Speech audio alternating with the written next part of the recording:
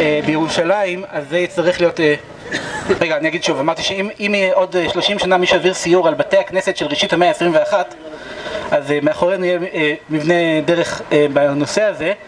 אני אומר את זה כי אני הייתי גבאי בתי כנסת לפני 15 שנה, אבל הסיפור לא זה, הסיפור הוא שהחוויה שלי, גם לפני 15 שנה וגם היום, להסתובב כאן ביום שישי, אה, זה חלק מהתיאור של המקום. אנחנו, כשאנחנו משמרים את הבתים שמסביב, ודילגנו על המון שלטי רחוב והמון הסברים על בתים שאפשר לדבר עליהם כאן, אבל המכלול כולו ביחד אה, יוצר משהו מאוד מאוד מיוחד, וכאשר לא יהיו פה יותר אוטובוסים אלא רכבת קלה, אז יהיה הרבה יותר נוח להסתובב כאן. אה, זה יוצר איזושהי אווירה. כשאנחנו משמרים בתים, אנחנו גם רוצים לבנות וגם רוצים לשמר, כן? עצוב להיות ראש העיר, אבל צריך גם לבנות וגם לשמר. השימור הזה כן יוצר פה משהו מאוד מאוד איכותי שפשוט לא יכול להתקיים אם היינו בונים פה בתים רגילים מודרניים לחלוטין. אה, שכרנו מבנה בתוך בית הספר, לא... אה, מה? אני חושב שאנחנו עדיין אבל בתוך, אנחנו עדיין בתוך תחום המושבה הגרמנית, עדיין. יש פה... את הבתי כנסת של ה-21 שירה חדשה זה המניין המשתף הראשון בארץ. אנחנו, אני יכול, אחרי ההדרכה אני אדבר איתך על זה. כן, אחרי ההדרכה, כן. כן, זה נכון. אה, בהחלט קורים פה דברים, אבל זה חלק מהאופי של השכונה.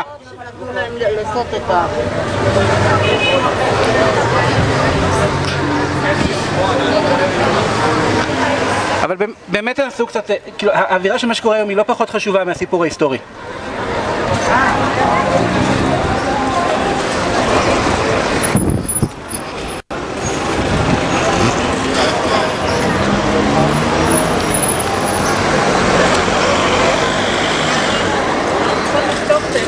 אוקיי, בסדר. זה מיכה, לא? מה? זה מיכה ונדייק. כן, לא.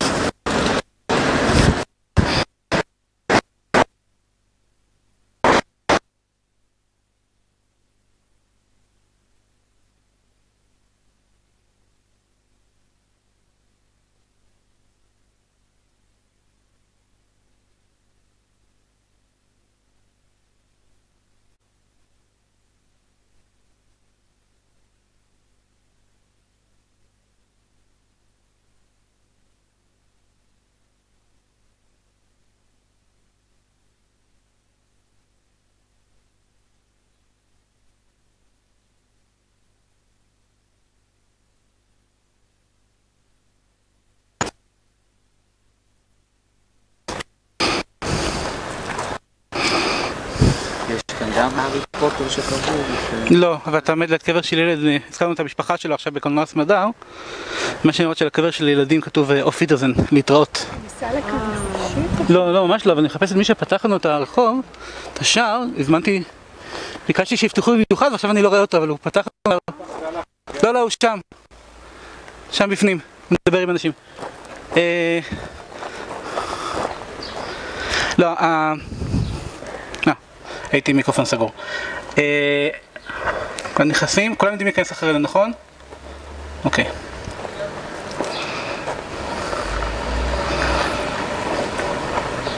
הסביבה הזאת נראית חדשה מאוד. יכול להיות שחידשו אותה. הם מדי פעם באים לבקר. הם מדי פעם באים לבקר. אז אולי הם חידשו אותה, אני...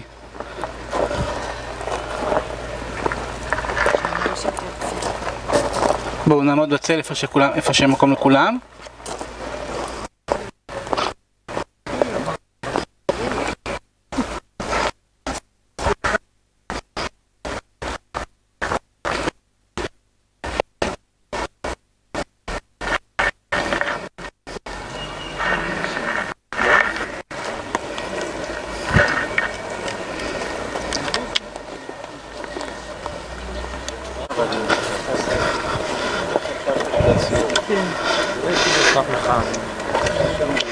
מורי ורבי לארכיאולוגיה של בתי קברות אה, יהושע לביא. אה, לימד אותי יש מזמונים על בתי קברות כדי להבין דברים, אין לנו זמן לעבור עכשיו מצבה מצבה, אבל יש פה, אני אתאר לכם כמה מהדברים שנמצאים כאן שיכולים אה, אה, לספר את הסיפור של המושבה כולה. בין אם זה קברי ילדים שאנחנו רואים כאן אה, שכמו כמו במושבות שלנו, חלוצים סובלים מתמותת ילדים, זה חלק מהסיפור. יש לנו כאן אה, תיאור, יש לנו כאן, אה, אני בהתחלה רציתי להתעלם מזה, אמרתי מקליטים אותי וזה, לכו איפה ההקלטה הולכת. יש לנו כאן קברי אחים מבתי קברות טמפלרים אחרים שמפונים עם קום המדינה, מפנים בבתי הקברות ומעבירים את זה לכאן. אמרתי, זה דברים שלא כדאי לדבר עליהם, אחר כך מדברים על בתי קברות בגרמניה ומה עושים להם שם, אבל ראיתי ששמו את זה בשלט של המועצה לשימור אתרים, אמרתי, טוב, אם זה כבר כתוב אז זה כבר כתוב. אז אפשר לתאר את זה כאן בסיפור. היי, אה, לא, תגידו איפה אתה? אני הסתכלתי, אמרתי, נפתח, אמרתי, תודה רבה שפתחת ולא ראיתי אותך. אז אתה רוצה אולי להגיד כמה מילים על... אה, אז אה, אני אשים עליך. זה בסדר, תשאר. אני, אני, אני מירו אהרוני ואני היסטוריון של בתי עלמין של המאה ה-19. הבנתם? כן, זה פשוט לא... לא מתנתק כל כך טוב. ננסה... אני רגע. אה, אה, זה מחובר פה. אני חוקר, אה, הבנתי. כן. תתקרב בבקשה. בסדר. רגע, נעשה סליחה על ה... צריך לעמוד ככה. אתה שמת את זה לא שמת, לא? איפה הפומית? לא, לא. רגע, כאן. שנייה, תנתק אותה לרגע ותיתן לו.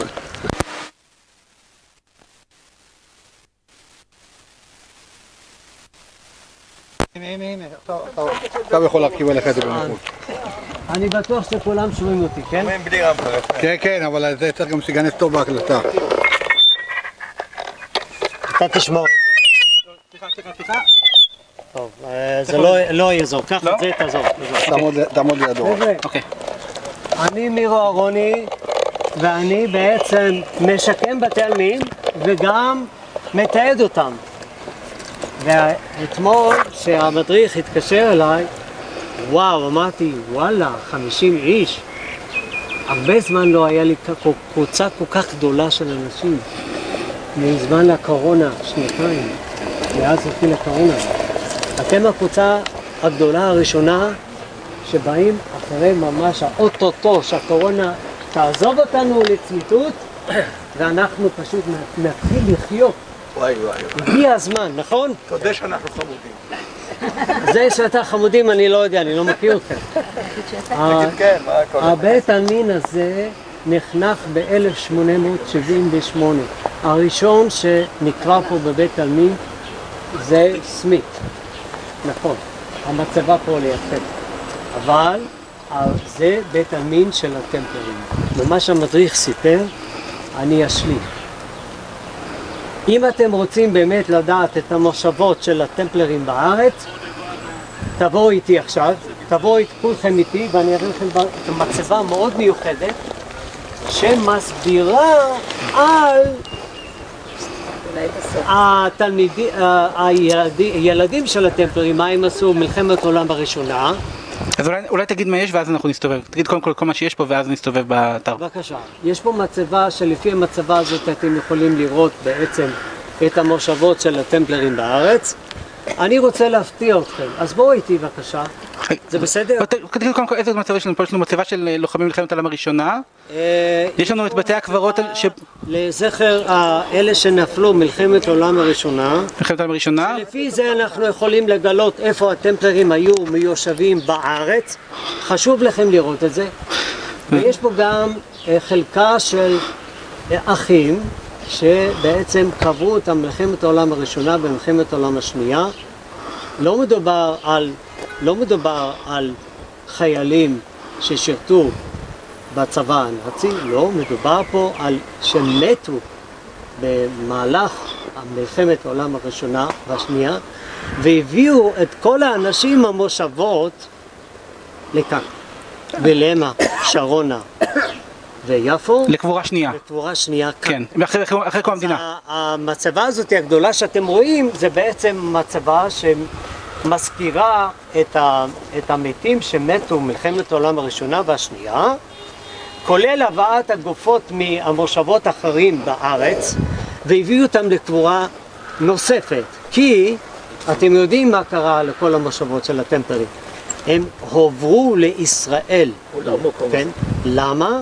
כי מה קרה ב-1932? זה אני אספר בהרצאה, זה אספר, אז בוא נספר אז אני אעשה סיכום על כל ההיסטוריה, אבל כן, בוא תראה לנו את ה... אז בואו תראו את המצבה ומשם המדריך יסביר לכם יותר בהרחבה. תודה רבה.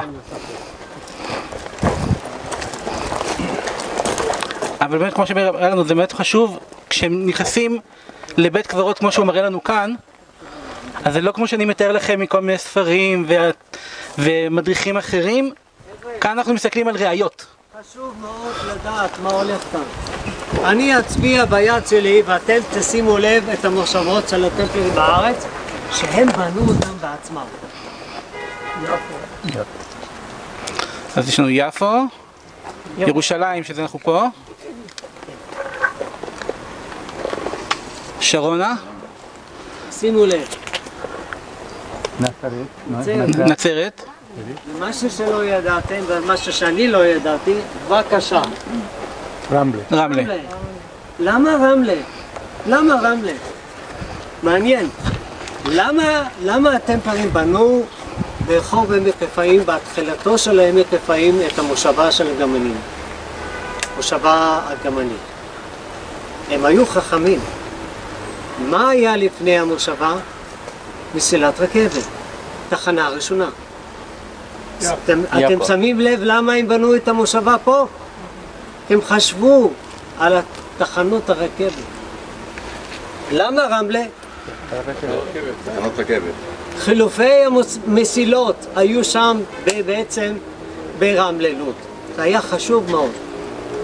והרכבת הזאת היא הייתה פועלת 1890 ואפילו לפני, והטמפרים השתמשו כדי להוביל סחורות ולהביא מוצרים למושבה הגרמנית וגם למושבה הטמפלרים בחיפה. וכמובן הסניף שלהם היה גם ברמלה וגם היה להם סניף בנצרת כי הרכ... הרכבת הזאת, נכון המדריך? היא עשתה את דרכה נצרת קרובה לרכבת החיג'אזית, כן. והיא הייתה בעצם פתוחה לאיזה ארצות? איזה ארצות המדריך? לא, אנחנו מדברים להגיע לנמל יפו זה פתוח לכל מקום, לסעודיה ולטורקיה. מעניין. ולבנון, ולבנון. וסוריה, עד טורקיה. ומצרים, ומה שאתם רוצים. אתם. קונים כרטיס, יושבים ברכבת, ואתם מגיעים לאן? לכל המקומות האלה. אתם מבינים? באותם אותם שנים. כן, בעיקר בזמן המנדט. בעיקר בזמן המנדט הרכבת מתפתחת לכל מקום. תקופה טורקית פחות. בתקופה טורקית יש לנו פחות רכבות, אבל בזמן המנדט הרכבות מתפרסות בכל מקום, לא, זה מצבה לזכר האנשים. לזכר הילדים שהם לחמו מלחמת העולם הראשונה נגד מי? אנזק. נגד האנזק. אתם רואים? כן. שימו לב, תסתכלו את התאריכים, מאוד מאוד חשוב לדעת בעצם מי, מי האנשים האלה, מי, ה, מי הצעירים האלה. הם בעצם לחמו עם הטורקים נגד האנגלים. ומה עשו האנגלים?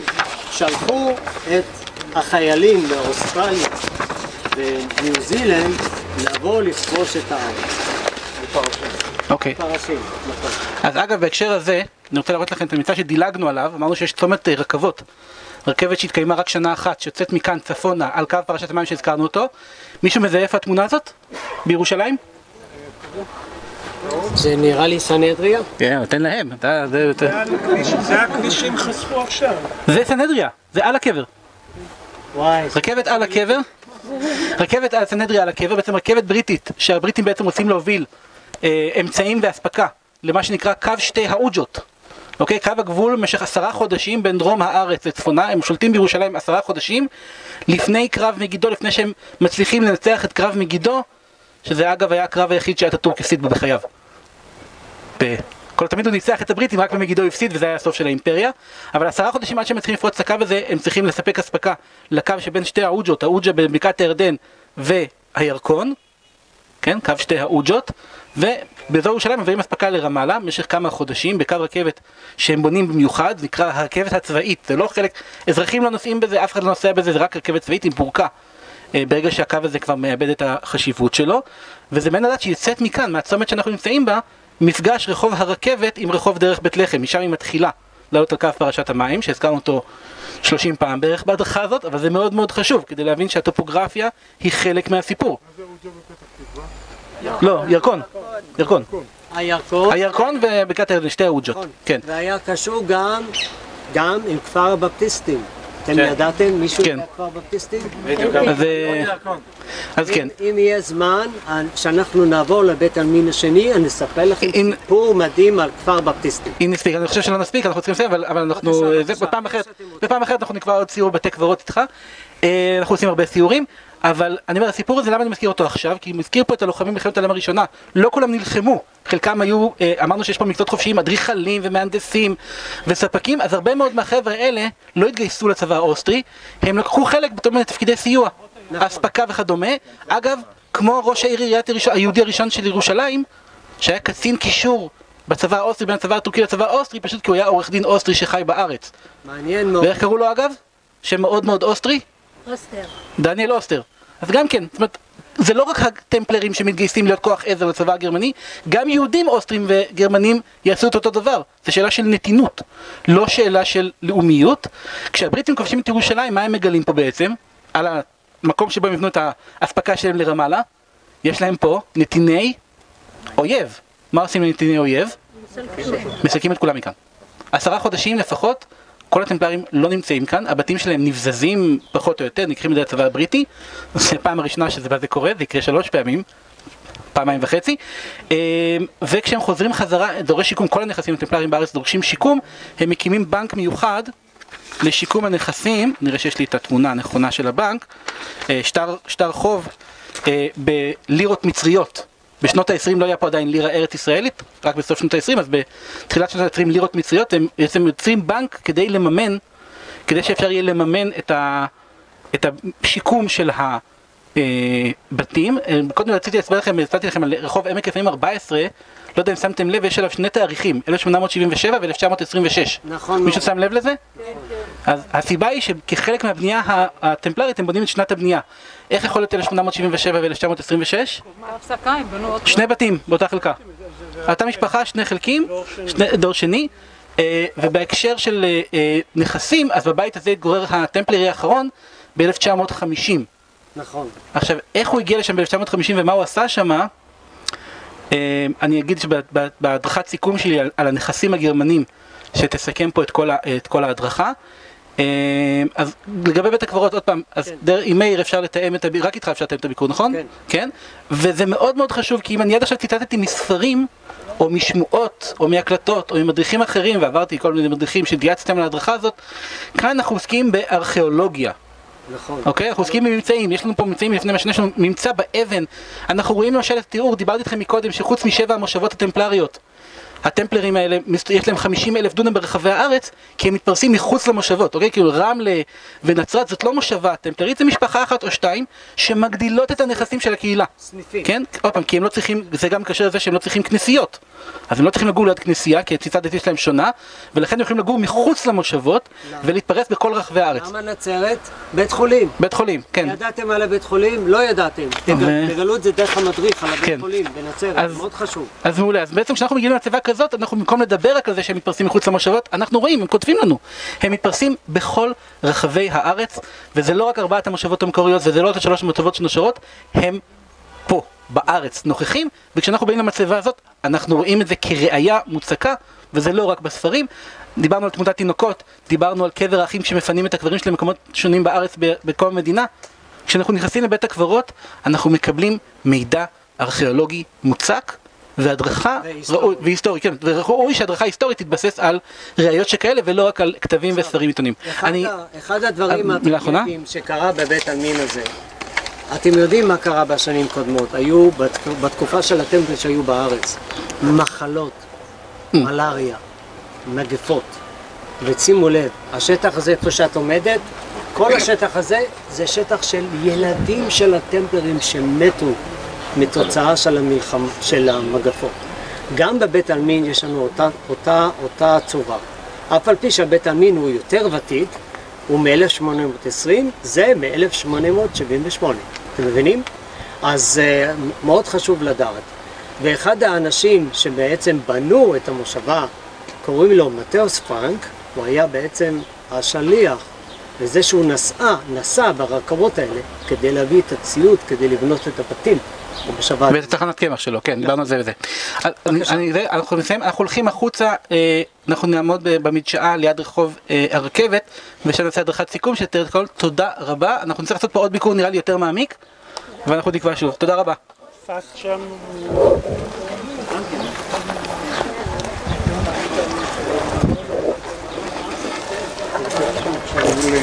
של הרכבת שדוגמה למדרכה ואני יכול לדבר איתם שם, אני רוצה לעמוד. אני, זה שתי תחנות שונות, אני אעמוד בתחנה רחוב עמק רפאים ורחל אימנו, ולשים לב, חדי העין כבר שמו לב ש... נשים את זה כמו שצריך. אה, חדי העין שמו לב ש...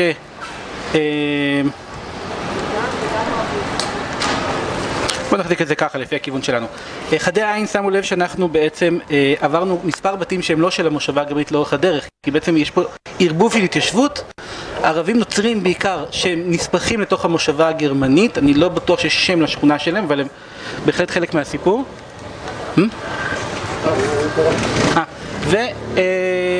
ומאחוריי כבר אנחנו רואים את שם המושבה היוונית. למעשה אפשר להגיד שבתי הקברות שעברנו אותם הם הגבול של המושבה הגרמנית המקורית, מאחוריי זה כבר המושבה היוונית, אה, מאחוריי זה כבר המושבה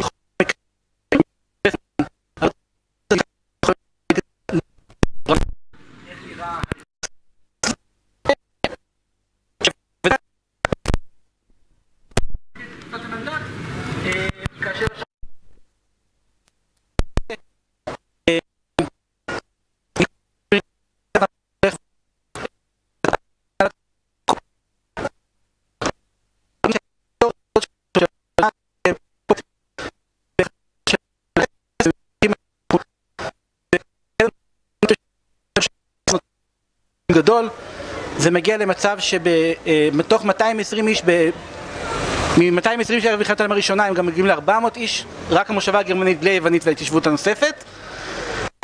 1918 כשהבריטים שולטים בירושלים הם נתיני אויב, זה חוזר לזה שאמרתי שהם מקבלים עצה לא להתעטמן, כן, לא להפוך לנתינים עות'מאנים, גם היהודים ברובם נוהגים באותה דרך, ולכן כשמתחילה מלחמת העולם הראשונה, מי שהוא נתין של מדינה אויבת יהיה צריך להיות מגורש מכאן, ומי ש... מה ששימש אותם עד אותו שלב, חוץ מהסיפור הזה שהם קנו קרקעות דרך מתווך, כי אסור לקנות קרקעות בארץ, אבל אה, מה ששימש אותם להיות אזרחים זרים במלחמת העולם הראשונה, בהתחלה, אם אתה בצד של האנגלים אתה מגורש מהארץ, וב-1918 אם אתה בצד של הגרמנים אתה מגורש מהארץ.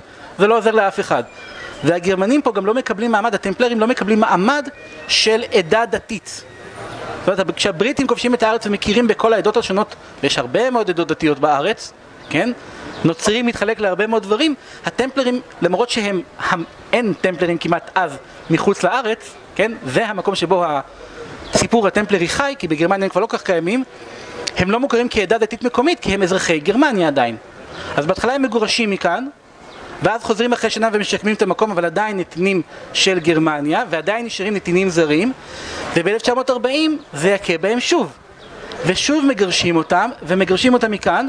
מרוב המושבות נשארות בעיקר שתי מושבות שבהן נשאר קומץ של אנשים. רוב האנשים מגורשים לאוס- לאוסטרליה וחיים שמה עד היום. יש עדיין קהילה כזאת קיימת עד היום, הם באים לבקר פה מדי פעם, בביקור מולדת, אבל הם חיים כקהילה. הם עברו לאוסטרליה כקהילה, והמקום הזה ננטש ב-1940. ננטש, עובר להיות רכוש הממשלה הבריטית, ומשתמשים פה. פתאום יש הרבה יותר צורך בבתי, יש יותר פקידים ויותר קצינים במהלך מלחמת העולם השנייה בארץ, כי מוקם פה פיקוד, ויש פה הרבה יותר תנועה צבאית, אז צריך יותר בתים שבהם משתמשים. אנחנו מדברים על הכיוון שעברנו אותו, לא, לא מה שמאחוריי. היוונים בסדר, היוונים שמאחוריי זה בסדר גמור, אנחנו מדברים על ה... מושבה שכבר יצאנו ממנה, כן? אלה הבתים שמוחרמים. וגם אחרי מלחמת העולם השנייה, הנכסים ממשיכים להיות נכסי אויב ולא מוחזרים אליהם ובעצם נשארים נטושים עד שמדינת ישראל משתלטת עליהם ביום עזיבת הבריטים, חלק מהקרב על מחנה אלנבי, ביום הכרזת, בשבת שאחרי הכרזת המדינה, הקרב על מחנה אלנבי על ידי אנשי תלפיות ורמת רחל שמנסים לחבר אותנו אל ירושלים, את דרום העיר אל ירושלים, באותה שבת וביום שלמחרת כל האזור שבין רחביה ומרכז העיר היהודי לבין תלפיות נכבש, כולל המושבה הגרמנית, המושבה היוונית, שהם גם בורחים מכאן היוונים כי הם לא רוצים במלחמת העצמאות, אה, ותחנת הרכבת, והופך להיות חלק משטח אה, יהוד, יהודי. אה. בהקשר הזה, ברחוב לויד ג'ורג', אני הבטחתי לכם שאנחנו נגיע לקיבוץ רמת רחל, הזכרנו אותם שנלחמים פה, אז דילגתי על זה בהדרכה כדי להגיע למאיר, אבל רחוב לויד ג'ורג' במהלך מלחמת העצמאות הופך להיות האתר שבו אנשי רמת רחל גרים, לא כולם, מתוך 200 חברי קיבוץ רמת רחל, 200 לא כולל ילדים ונוער, רק 200 החברים בעלי זכות הצבעה, אה, רובם נוטשים בעצם את חלום רמת רחל ומחליטים לא לחזור יותר לרמת רחל, עוברים לכרמל. אה, 42 חברים מחליטים להיאחז בירושלים ונאחזים, אה, מקבלים את הבתים ברמת רחל, אה, מקבלים את הבתים ברחוב לויד ג'ורג' וגרים שם במשך שנתיים.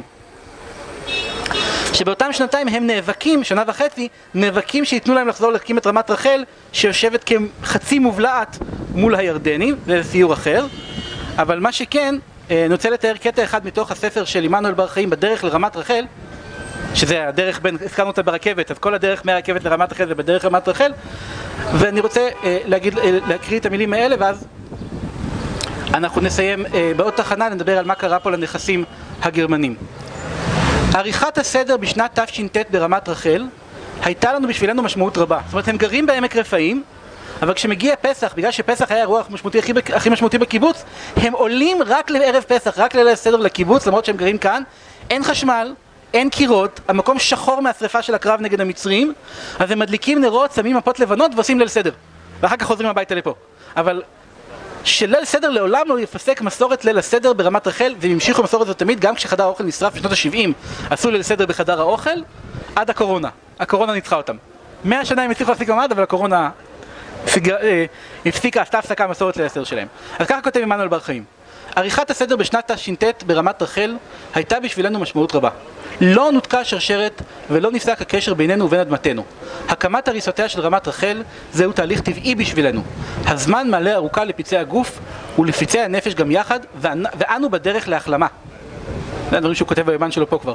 את הסדר ערכנו בחדר האוכל הגדול, הקודר מאוד, כשאור נורות החשמל הקטנות נאבק עם החשיכה והכדרות של הקירות המפויחים מפגזים. המפות הלבנות בקושי העלימו את ריהוט המשלט, והרגשות והסיפוק על ביצוע התוכנית נאבקו עם כאב זיכרונות העבר ומרי ההווה. נאבקו ולא יכלו להם, כי מרה ואכזרית יותר מדי המציאות היום. ושום מפעל סמלי לא ישנה אותה. כאן נחוצה פעולת קימום ממש, שנירתם אליה בכל כוחות הגוף והנפש. וכשהסמל יהפוך שוב למציאות, נבוא על סיפוקנו. אז זה הסיפור של אנשי רמת רחל שמתיישבים כאן, ותאמינו לי, יש אולי אנשים היום, אולי יש אנשים שהיו חושבים לעצמם, למה לא נשארנו כאן? סתם, לא, הם, אה, הם מאוד מרוצים מהמקום שלהם, אבל... אה, אז זה לגבי הדבר הזה. אנחנו עוברים לרחוב הרכבת 55 ושם נעשה את תחנת סיכום. רגע, לא לקום. ככה. התלמידים מהמושבות של הטמפלריות הגיעו ללמוד פה בתנאי פנימייה באיפה שהמלון אוריינט. כשהתחילה מלחמת העולם הראש- השנייה, הם נסעו לגרמניה והתגייסו. חלקם נפלו בשבי בידי צבא, צבאות הברית, אה, הברית ויותר בצבא אנגליה. התבשל פה רעיון של חילוף שבויים. תמורת הטמפלררים שבידי הבריטים, את מי אפשר לשחרר? האם זה, דוגמה, אני עליתי מפולין והגעתי וחייתי פה ונסעתי לביקור מולדת ואני כבר אזרח מנדטורי ונסעתי לפולין לבקר את ההורים שלי ונתקעתי שמה. או יהודים שאפילו יכול להיות שנמצאים בסלובקיה עם סרטיפיקט. זה, הסיפור לקח כמעט כשנה וחצי, שנתיים מאותו רעיון. אספו כ-70 כאלה יהודים אפילו שלפו אותם ברגע האחרון מהרכבות למכונות השמדה והם הגיעו פה לארץ והיה חילוף השבויים. החשיבות בהחלפה שרק אז אנשי הסוכנות היהודית שברגע שמתחקרים אותם כ-70 איש רק אז יורד להם האסימון שיש השמדה באירופה. אז uh, בהקשר הזה uh, היה עוד כמה אנשים שחולצו, uh, בין היתר uh, משפחה שלי, שלוש. משפחה של דוד שלי, משפחת גוטליב, אז דוד שלי היה מבוגר מדי בשביל uh, להצליח להיות מחולץ ככה, הוא הלך למחנה ריכוז, אבל היה להם שכנה שהיה להם uh, שני, שלושה ילדים עם הסרטיפיקט הזה להיות מוחלפים, ואחד הילדים מת בגטו, בגטו לודג'. אז האימא של הדוד שלי, משפחת גוטליב, אמרה, הדוד שלי היה נתן, הוא היה במחנה ריכוז, אבל אימא שלו אמרה לשכנה שלה, יש לי את הבן הקטן אליהו, שהוא בערך בגיל של הילדים שלך. הבן שלך נפטר. זאת אומרת, יש לך כרטיס פנוי לצאת לחילופי טמפלרים הזאת. קחי את הבן שלי במקום, מי ידע? וכך היה, אה, כשהיא מגיעה ברכבת לארץ, הם נוסעים ברכבת דרך ראש הנקרה, יש כאלה שאומרים שזו הייתה הפעם היחידה שאזרחים נסעו ברכבת של ראש הנקרה, כי זאת רכבת שהתקיימה מעט מאוד שנים, וכשהיא מגיעה למרכז הארץ, האבא שלהם, אבא של, בעלה היה פה בארץ, היא נסעה עם הילדים לביקור באמת, ואז הוא מגיע והוא רואה שהיא מגיעה, היה עוד ילד שהתחלף בדרך, חזר רק עם ילד אחד מקורי אני חושב, והוא מסתכל ורואה את הסיפור, רואה את הילדים הלא מקוריים שלו, ומה קורה פה, והיא מסמנת לו שישתוק, שהבריטים לא ידעו מה קרה פה, כי לך תדע אם לא ישלחו אותם בחזרה. האח הזה של דוד שלי, האח הזה של דוד שלי, שנייה, האח הזה של דוד שלי קשור גם לתחילת המסלול, כי הוא היה מנכ"ל משרד ראש הממשלה כשבגין נהיה ראש ממשלה, אליהו בן אליסר. והוא גם קבור ליד בגין. והוא קבור גם ליד בגין וליד פיינשטיין וברזני שהתפוצצו, שעשו את הפיגוע ברכבת.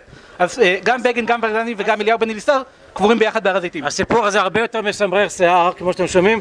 יש זום שלם שמעביר את זה, ההוא מ... נו, איך קוראים? ההוא מעופרה. כן. אה, אנחנו נדבר על זה? זה שלחם בגבעת תחמושת. אה, חיים אה, שלם. חיים שלם. חיים שלם, כן. חיים שלם מומחה, מומחה, ל- כן. חיים שלם בכלל היסטוריון של השואה מומחה, שווה מאוד לשמוע את ההרצאות שלו. הרצאת סיכום מיד. הדרכת סיכום מיד. עושים את ה... זה, אנחנו, הסיכום לממלא יהיה בבית כנסת ניצנים. כן, זה עכשיו. זה קפה רק אנחנו עושים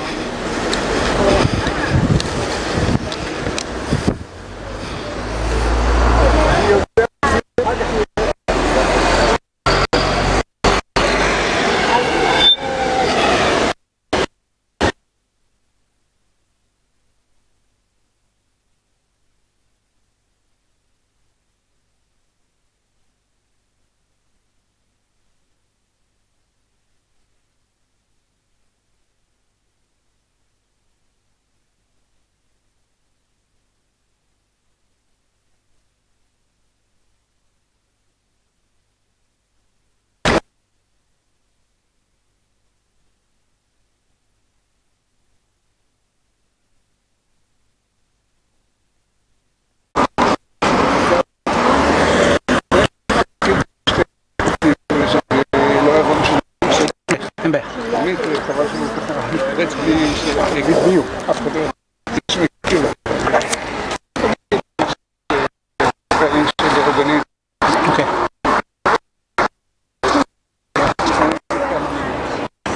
אוקיי. אה, תמונות, אפשר לראות תמונות מנושאי הרכבת, אמנם כתוב פה מ-1892 אבל התמונה הרבה יותר מאוחרת. אנשים מוציאים את הראש מהרכבת, כמובן היום לא עושים דבר כזה. מסילת הרכבת הזאת, אה, אה, אה, היה הרבה מאוד דיונים מה לעשות איתה, והיא כמעט וננטשה, אה, ולפני כ-15 שנה התחיל רעיון של לפתח פארק שהולך ומתפתח מתחנת הרכבת אה, ומשלבים את הרכבת כמסלול הליכה ממש כמעט עד התחנת רכבת של אה, מלחה. רציתי להגיד הרכבת החדשה, אבל היא כבר הפכה להיות הרכבת הישנה במלחה. אני, אני לא מדבר על התמ"א, אני מדבר רק על סיפור של המושבה ואז... אה,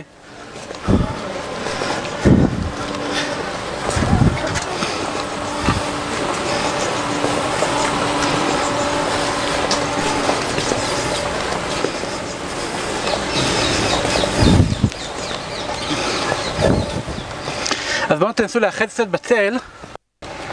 אני אעשה את ההזרחת סיכום על גורלה של המושבה הגרמנית אה, והמושבות הגרמניות בכלל בארץ. אה, נשלב כמה דברים, אמרתי לכם בהתחלה שהם אזרחים גרמנים ולא מתעתמנים כמו אנשים אחרים בארץ. זאת אומרת, הרבה אנשים בארץ לא התעתמנו כי רצו לנצל את האזרחות הזרה הזאת.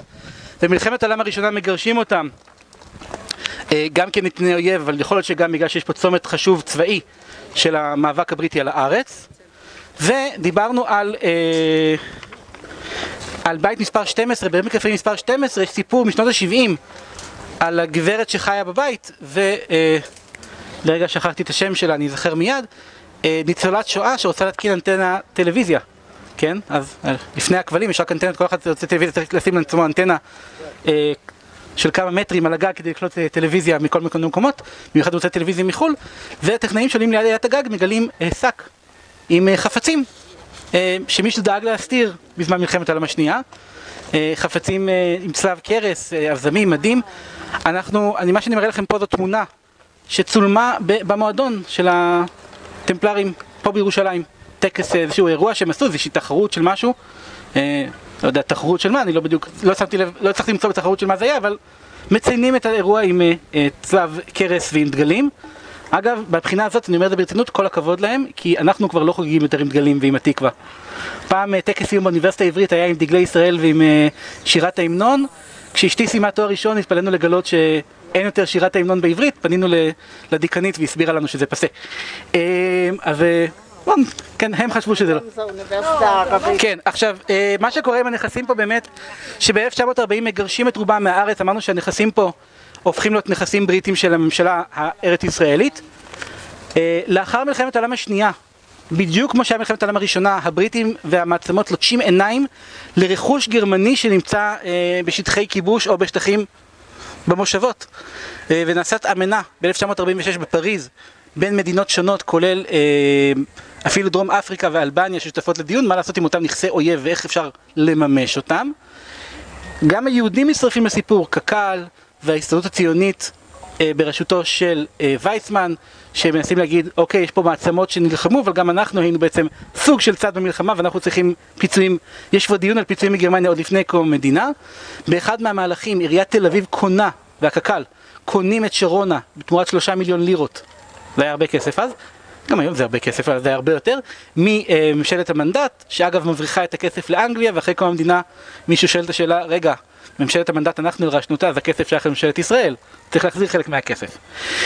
אה, מי שעוד מעורב בסיפור של הדי... בדיון הזה הם האוסטרלים, שהם הופכים להיות צד בדיון לא מהצד של בעלות הברית, אלא הפוך, מהצד של המדינה שקלטה את הטמפלרים כאזרחים שלה וצריכה לנשב אותם, וזה עולה כסף ליישב אותם, אוקיי, הם פליטים שצריך לממן אותם איכשהו, אז היא אומרת, אוקיי, אני רוצה את הרכוש הזה כדי להקים להם בתים באוסטרליה, אחרת על חשבון מי זה אמור להיות?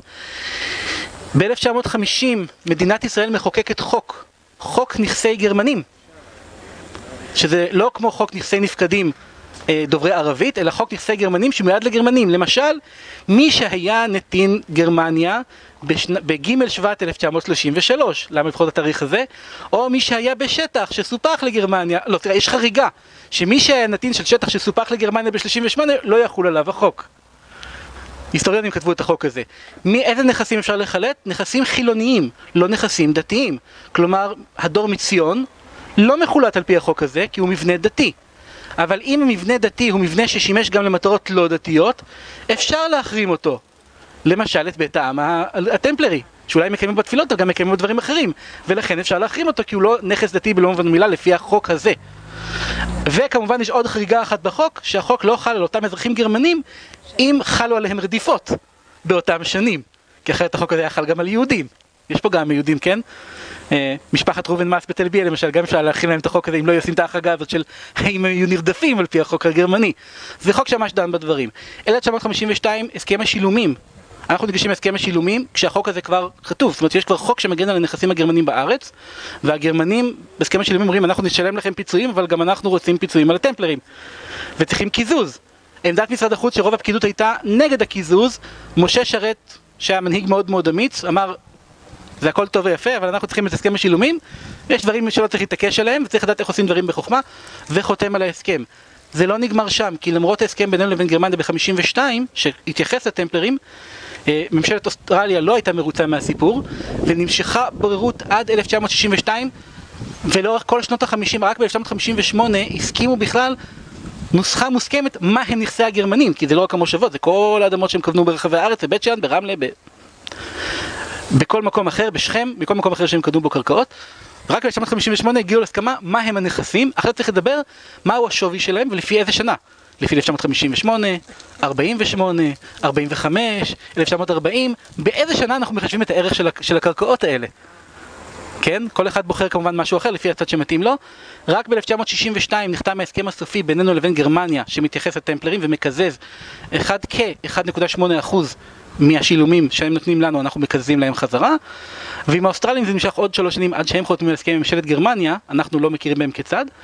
אה, כמובן שאחד מהטיעונים שעולים בכל ההסכמים האלה הם מדינת ישראל לא הייתה קיימת בשנות השואה, לכן היא לא צריכה להיות צד בדיון. מה שלא עולה, לפחות לפי מאמר של יוסי כץ שחקר את הנושא, מה שלא עולה כל כך בדיון אה, הוא הזהות הנאצית של הטמפלרים. זאת אומרת, זה לא מעלים כל כך, כנראה לא מעלים לדיון, דנים, לא מספיק, זאת אומרת, בדיונים בשולחן, אה, בדיונים בשולחן שם כנראה לא מעלים את זה, לפי המסמכים שאנחנו מכירים.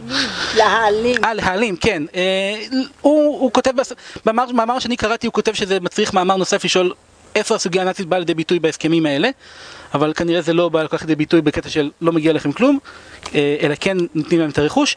אה, אגב, מה שמאוד מאוד טוב, כי כשהטמפלרים באים היום לבקר בארץ, הם באים לפה לבקר פה כאורחים, ואין לאף אחד מהם ציפיות לקבל את הבתים.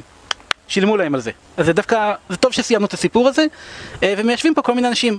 רמת רחל אמרנו התיישבו שם ברחוב לואי ג'ורג', אגב מול רחוב רחל אימנו, לא בדקתי אם זה קשור, אבל הם חוזרים לרמת רחל, וניצולי שואה, פליטים, כמו שכונת קטמון, מיושבת ביהודים שלאט לאט מקבלים בעלות על האדמות שלהם. אחד מהטמפלים האחרון, משפחת אימברגר, הוא חוזר לכאן אחרי מלחמת העצמאות, אמרתי שהוא גר בית 14 ב-1950 אז בדקתי, לפי מה שאני ביררתי, הוא לא היה כאן בשנות ה-40 כי לא נתנו לו, אבל אחרי קום המדינה הוא מסתנן חזרה ארצה, נכנס לבית שלו ומנסה בעצם לבקש את הבית שלו חזרה.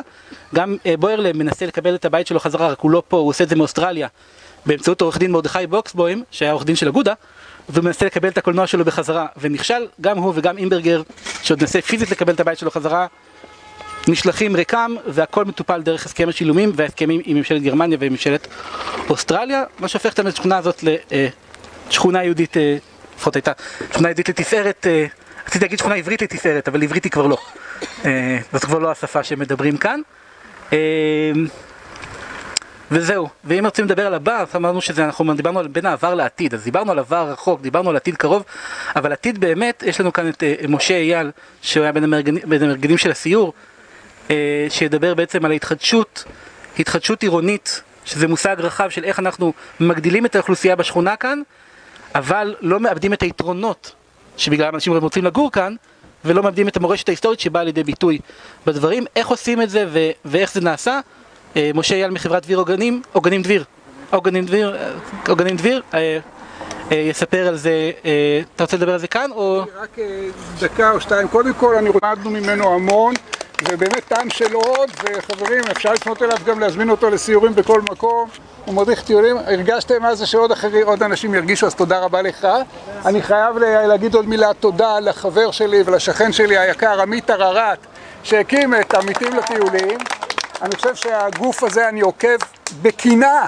בקינה, סליחה שאני אומר את זה, אסור לקנא, אבל אני מקנא בכל הטיולים שהקבוצה הזאת היא מארגנת, והכל בא מאיזשהו מקום אחד, אני זוכר גם את התקופה שקמתם, בתקופה מאוד קשה, ממקום של אהבת הארץ. אנחנו אוהבים את הארץ, רוצים להכיר כל מקום, להפוך כל אבן, זה בעצם המסר שמאחורי עמיתים לטיולים, ואני נורא שמח שעכשיו אנחנו זוכים גם כן לייצר שיתוף פעולה. אז עמית, תודה רבה לך וגם לעמיתים טיולים.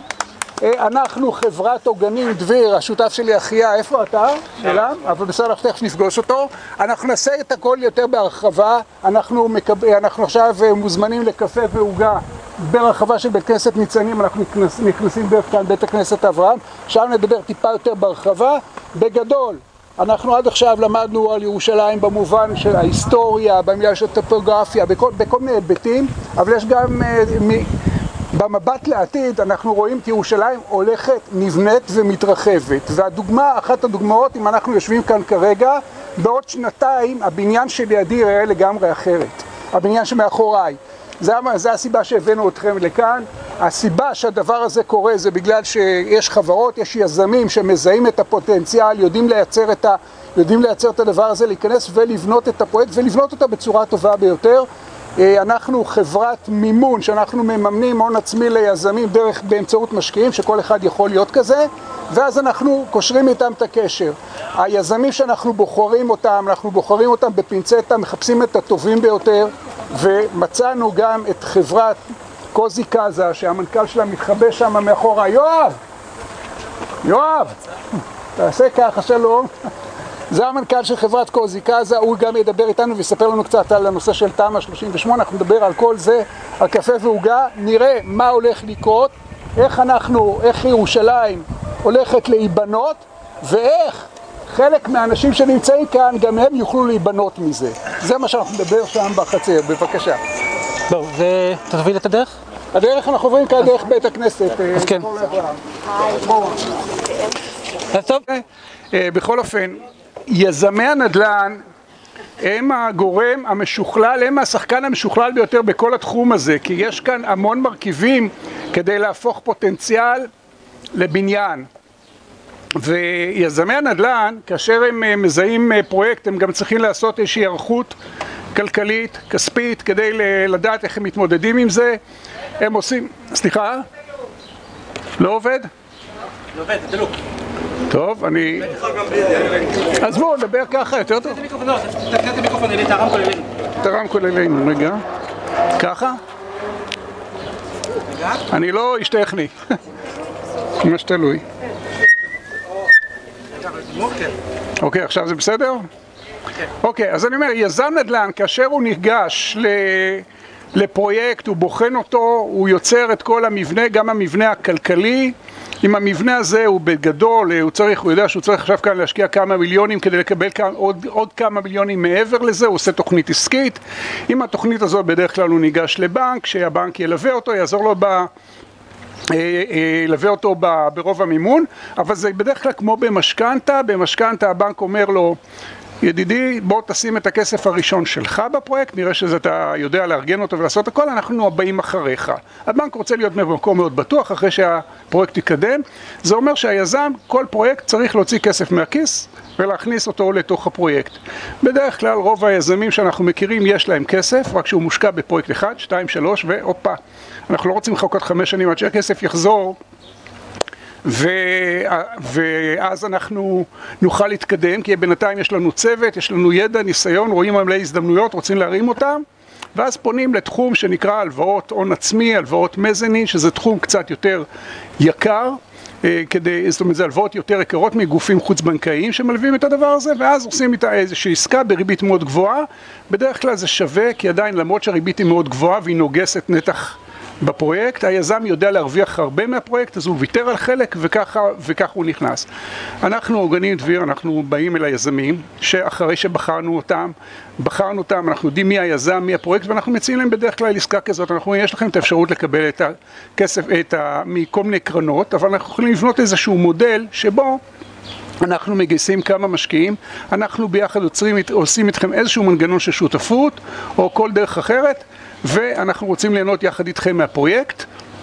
בנינו את המודל הזה, בדרך כלל אז אנחנו פונים למשקיעים ומשקיעים יכולים להיכנס, כל סכום של שש ספרות אה, בדרך כלל יכול לעבור, לפעמים אנחנו, הסף הוא חצי מיליון, לפעמים הוא יכול לרדת גם למאה אלף שקל, אבל בדרך כלל אנחנו אוספים ככה את הסכום הזה, בודקים, עושים את העסקה עם היזם, מברכים אותו ואנחנו מחכים לרגע שבו היזם באמת כבר יתחיל למכור, להתקדם יגיע האקזיט ואז אנחנו יכולים בדרך כלל, אה, זה סיפור שיכול אה, בחוזים שלנו לקחת בין שנתיים, שלוש או דברים כאלה ואפשר לעבור הלאה, להתקדם, זה דרך טובה להרוויח כסף מדברים שאנחנו א', אוהבים אותם, ב', מבינים אותם.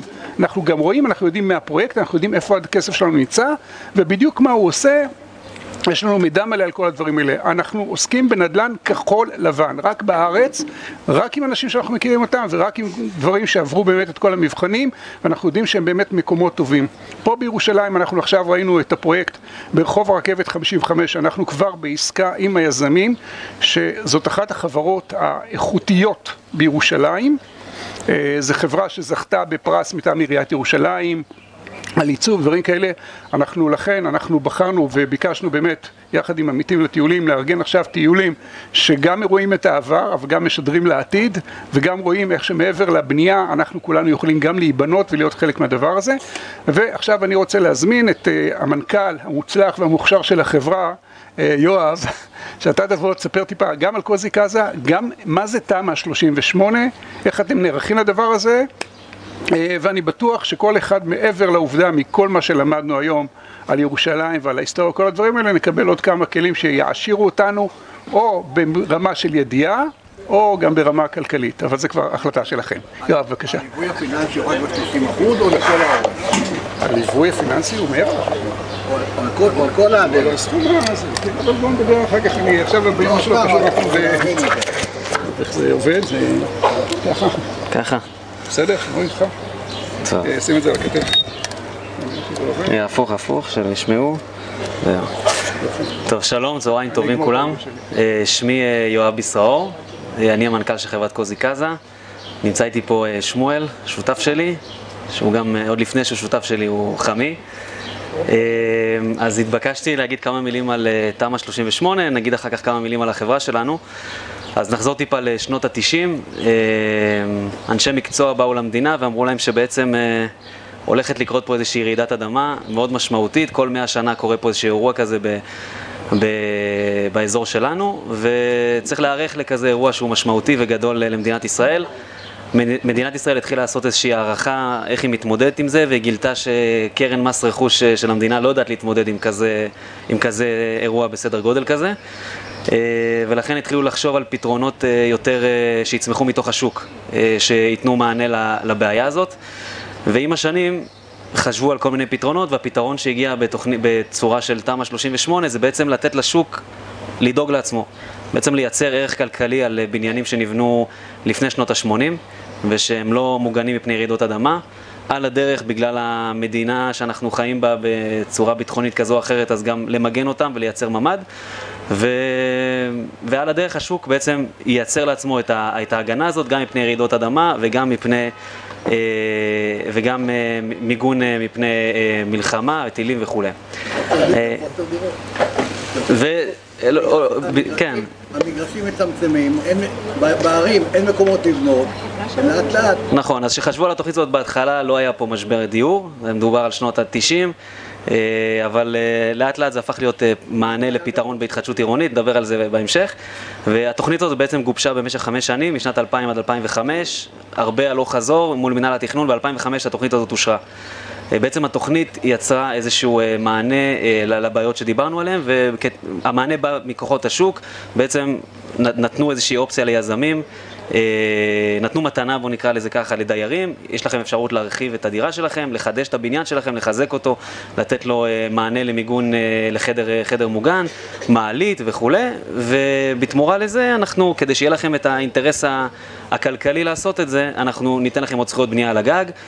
אה, כמובן שדיירים באופן אה, עצמאי יותר קשה להם לעשות את זה, יש כל מיני מקרים כאלה שדיירים אה, באופן עצמאי ניסו לקדם פרויקט, אבל בעצם מה שקורה זה שפונים ליזם, הוא מזהה את האינטרס הכלכלי אה, והוא עושה את זה עבור הדיירים וככה כולם נהנים.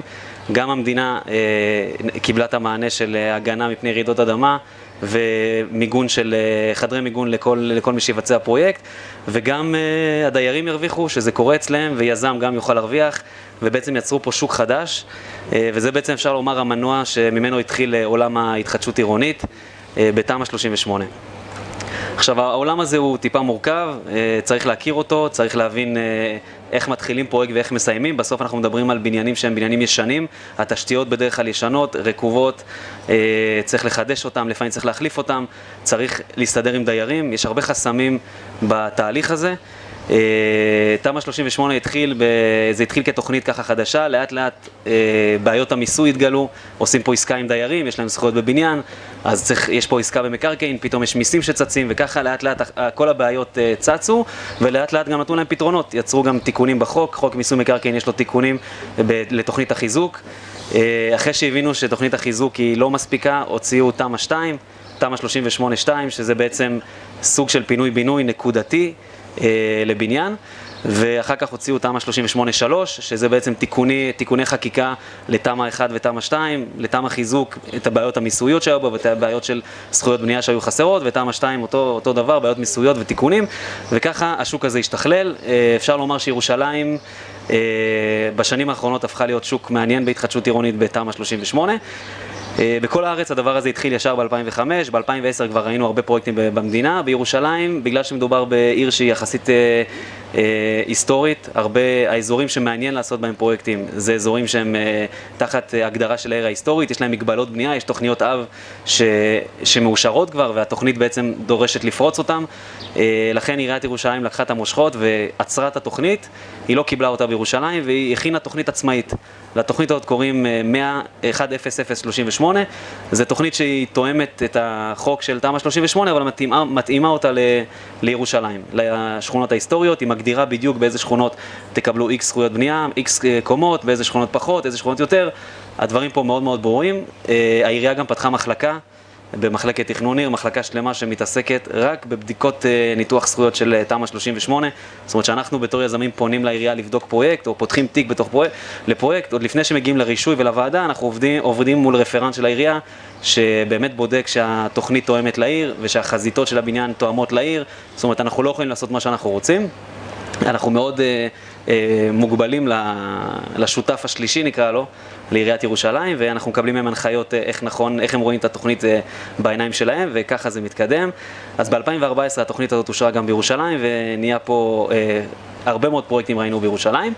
אה, בירושלים זה מתחלק לכמה אזורים, זאת אומרת יש אזורים שמקבלים בהם שתיים וחצי קומות, זה האזורים יותר שלא נחשבים העיר ההיסטורית, יותר הפריפריה של הליבה של ירושלים, ובתוך העיר ההיסטורית, אנחנו נמצאים פה בתוך העיר ההיסטורית, השכונות ה- הישנות ועם הרבה, עם הרבה בתים לשימור ובתים היסטוריים וכולי, גם שם הזכויות בנייה הן מופחתות.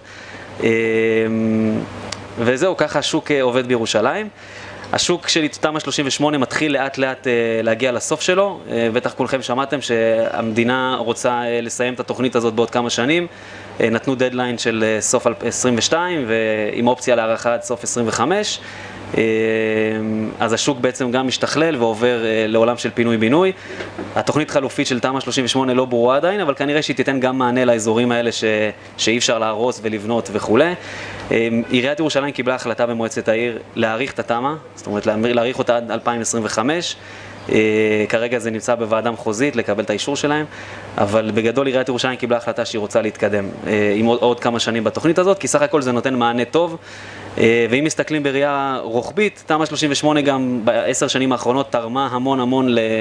להיצע הבנייה, זאת אומרת יש קרקעות לא משווקות בקצב מספק ותמ"א 38 זה תוכנית שמכוחה אפשר להוציא היתר בנייה, זאת אומרת לא צריך טבעות ולא צריך לאשר ועדה מחוזית ולאשר שכונות חדשות, זה ממש יש אה, תוכנית, המדינה ממש מהכוח הזה, כמו תב"ע מאושרת, אפשר ללכת לעירייה ולהוציא היתר בנייה, ובעצם זה הליך שהוא יחסית הרבה יותר מהיר מלהוציא תב"ע, ואז היתרי בנייה ולאשר וכולי, אה, אז זה נתן מענה מאוד מאוד אה, בריא וחזק לשוק הדיור בישראל.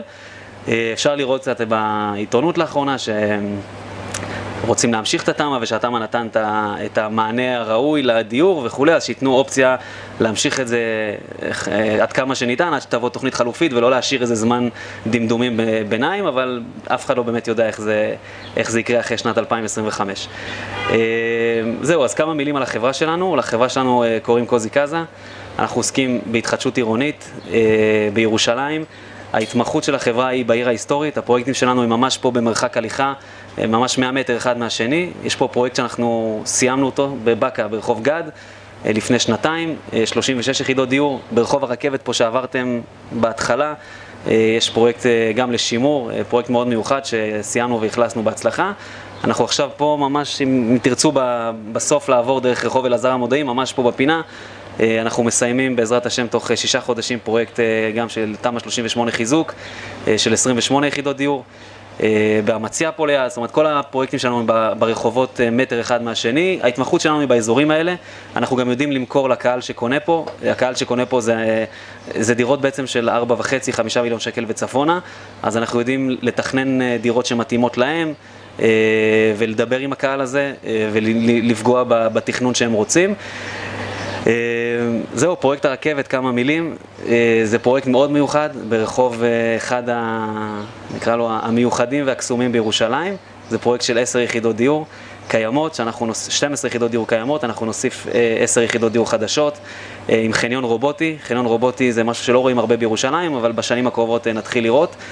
ובאופן כללי בראייה שלנו בפרויקטים אנחנו ניגשים לפרויקטים שנותנים להם מענה מלא, גם ברמת התכנון, גם ברמת החניות, גם ברמת השטחים הציבוריים.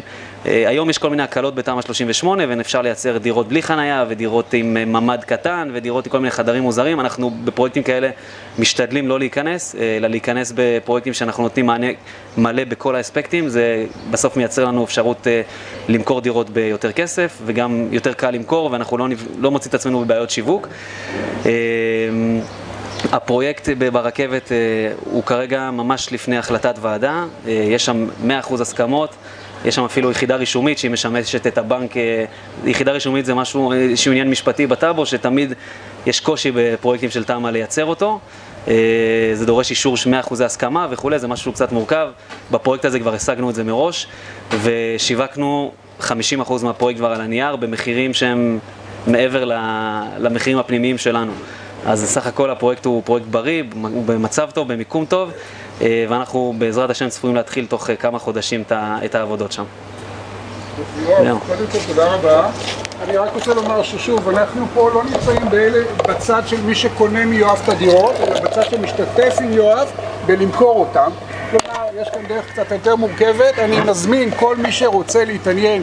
א', אתם יכולים לקחת את הפלייר שלנו, יש כאן אפשר דרך הברקוד להיכנס אלינו לאתר, מי שרוצה גם אפשר לקבל כרטיס אשראי, מי שמצנתק את הכרטיס מי שמצנתק אליי, אני בשמחה אחזור ביום ראשון, נקבע פגישות, נדבר, תמצאו טלפון בהתחלה, זום, כל דרך שתרצו. אני פה, מי שרוצה כרטיס ביקור, כל דבר, והמון המון המון תודה רבה שהייתם איתנו, אנחנו ממש... תודה.